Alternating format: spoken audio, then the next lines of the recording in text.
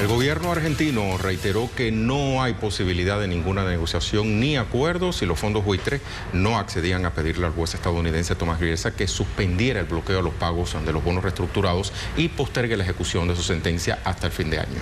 Y bueno, vamos a ver todos los detalles de todo lo que ocurrió este día, un día clave en Argentina. Argentina no resigna su dignidad el propio jefe de gabinete, Jorge Capitanich, reiteró que ha habido una mala praxis del Poder Judicial de los Estados Unidos en el litigio con los fondos buitres. Si hay un juez que se confunde, que no toma decisiones, que es claramente un agente de los fondos buitres, que el mediador es un agente de los fondos buitres, que el Poder Judicial está cooptado por los fondos buitres, entonces ¿de qué justicia me hablan? ¿Y de qué independencia del Poder Judicial me hablan?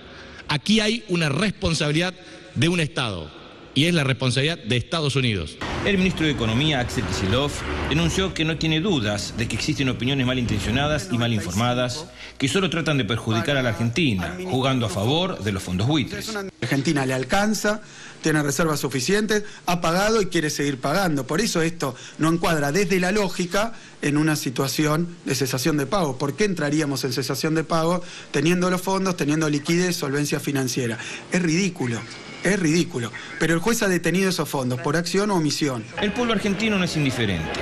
A la actitud de la justicia de los Estados Unidos y a la demanda de los fondos buitres, sale a la calle para respaldar lo actuado por el gobierno de la presidenta Cristina Fernández de Kirchner. Hay un pueblo que está motivado, organizado, que entiende qué pelea está dando en este momento eh, el gobierno nacional en la figura de nuestra presidenta, en la figura de nuestro ministro de Economía y con todo el apoyo internacional que tiene.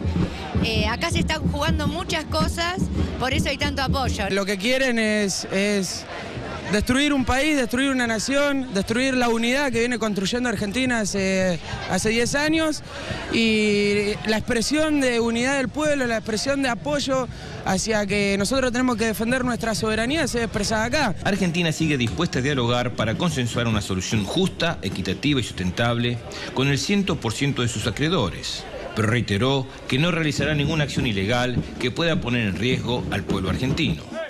Edgardo Esteban, Telesur, Buenos Aires. Precisamente, Edgardo Esteban.